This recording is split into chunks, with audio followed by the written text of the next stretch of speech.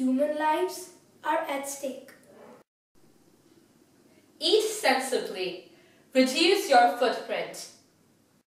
I only take what I can eat.